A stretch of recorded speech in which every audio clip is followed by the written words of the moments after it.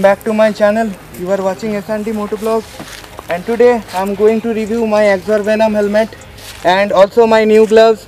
So check out this vlog, watch till the end because there will be a lot of information about the new Axor helmet. So keep watching guys and this is Neo. After a long time we came out. Actually it's a rainy season over here so everything is so like not so clean today but I'd clean it up let's continue the vlog so this is the Axor Venom helmet as you can see. You can simply operate the windshield from the switch. You can easily knock it down and up and the helmet is very comfortable. When I down the windshield you can clearly see there is an anti-fog layer so that you can have a clear vision while riding. And as you can see it easily goes up and down. You can easily operate it.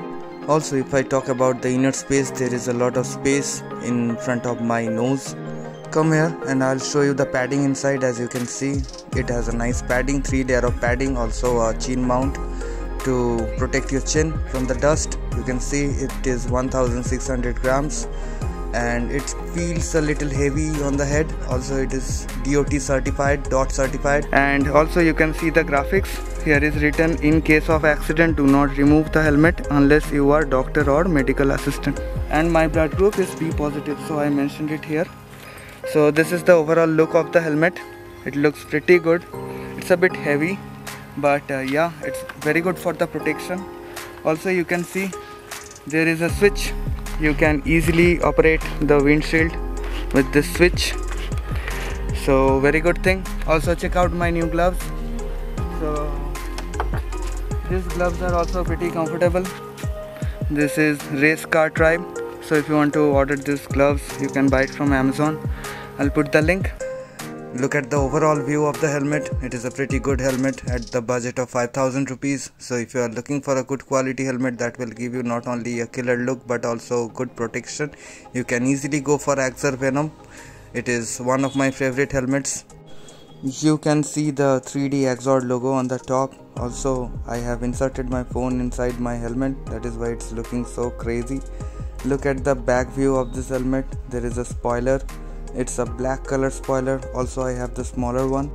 I can give 100 out of 100 for the look of this helmet. Also look at that how pretty it looks when I keep it on my bike Neo. It gives an amazing look. Also when you go on the road people will easily look at you because it is a head turner. Honestly when I ride my bike wearing this helmet I get extra confidence.